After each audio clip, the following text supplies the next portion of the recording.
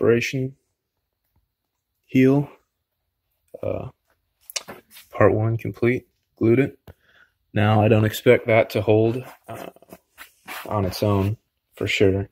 So I'm going to also tape not only this part but probably the whole ball.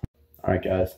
So I made this homemade medicine ball because I figured why not.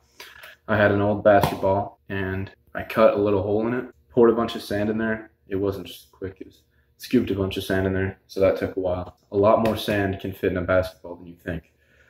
So, filled it up, hot glued the hole sort of back together, and did my best to tape over it, but the tape really wasn't adhering that well because it's a old worn out basketball. So I also wrapped it all and sort of made the tape adhere to itself and wrapped it all together.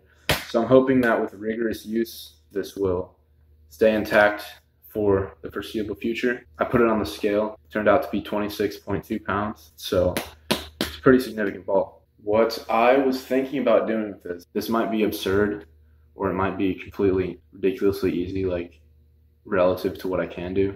But I didn't just want to go a day without working out.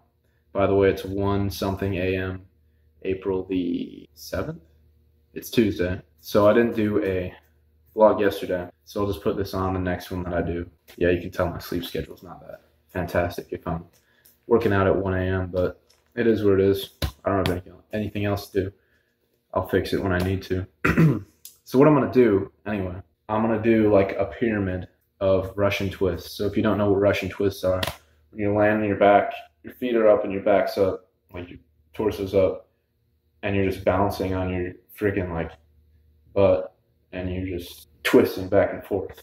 I also intend to, with each twist, smash it on the ground and sort of do that. And then for each back and forth, I'm going to count that as one.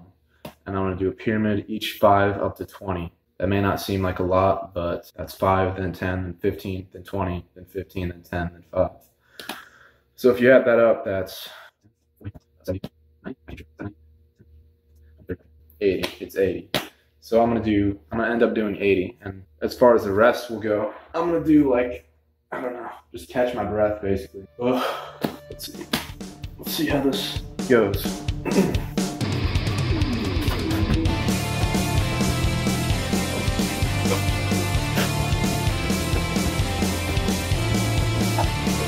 this will be, uh, this will be something.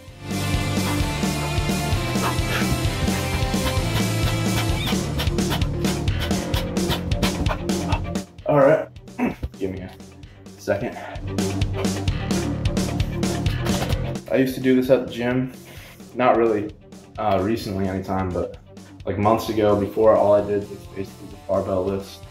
Sometimes if I had time after lifting and all that, I would grab a 15 pound medicine ball and basically do this. And I would try to go up and rep, like sort of duration Sometimes I did like, I think the most maybe was 70 or 75, and that will burn you out and leave you gasping for air, which sucks obviously in the moment, but it's fun to push yourself through. And it's fun afterwards. You just feel so good when you get done with a rigorous workout. 20.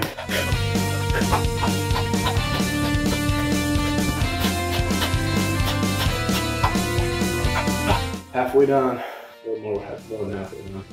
I've never done something like this before. I would always just do one like set, just go really long. I always rest a lot between sets when I'm lifting anything. Like when I'm doing main lifts, just, just all I do basically. I'd rest like five minutes between them. So I'd do three sets of my squats, and I'd do either bench or press and rest pretty much five minutes between those and then do either deadlift or power clean. Deadlift, of course, is one set of five. So it's only the rest you need before your main set. And then uh, power cleans is five sets of three. So sometimes I can get away with resting less than five minutes between your power clean sets because they aren't as like maximal as a slow lift, strength lift, power sort of explosive lift. And I'm still not high enough at power cleans where I'm actually doing probably like my potential right now.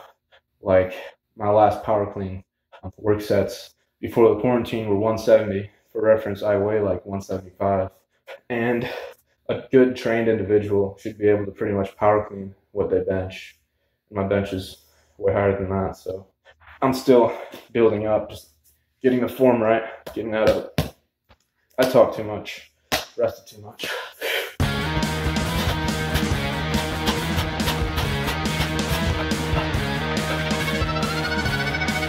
Maybe I'll put this section before the rest of the vlog, because it is before, because my vlog will be later today, but like tomorrow, because I'll have slept. I don't know if I'll review anything.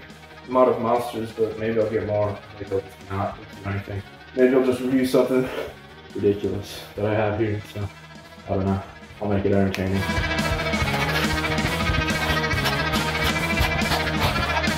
We'll stretch.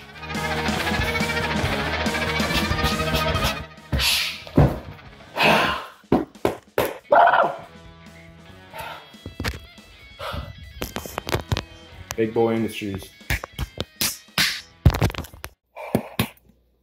I'll bring this. I was gonna drink it anyway, but I figured I've always drank protein. Not always, but I'd always try to drink some protein after a workout. I figured I'd get a workout in. A little bit of creatine. It's good for you. Safe. Anyone that tells you otherwise doesn't really know what they're talking about. You can get it from your food if you eat certain foods. So it's not like drug or anything.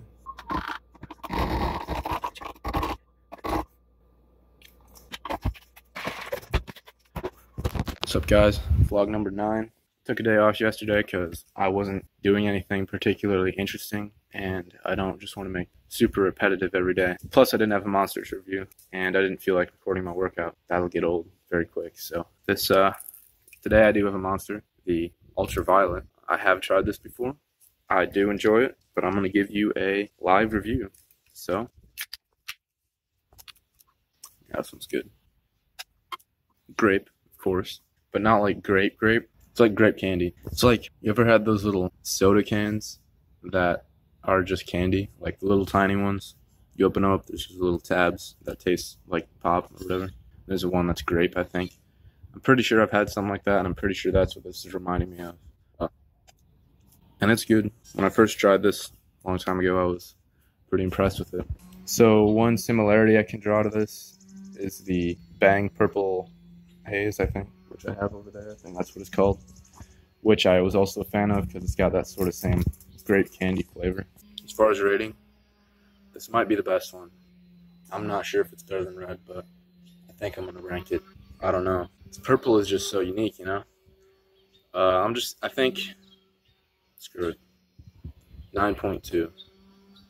9.2 for the Monster Ultraviolet. That is two tenths above the runner up, which is the red and I don't foresee uh, anyone else surpassing this as far as monster ultras go. I do have one more, the Ultra Sunrise, I think, orange one, and I don't know if I'm gonna review that because it just does not look appealing to me. I don't think I'd enjoy it. I don't like orange flavored drinks and all that, so I guess stay tuned. Maybe I will give you a review of that sometime, but if not, then. Um, this remains the champion.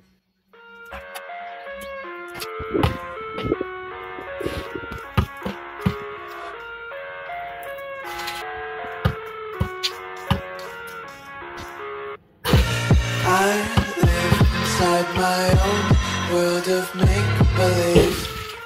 Kids screaming in the cradles, profanities.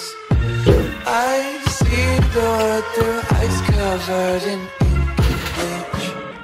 Cross out the ones who heard my cries and watched me weep. I love everything. Fire spreading all around my room. My world's so bright, it's hard to breathe, but that's alright.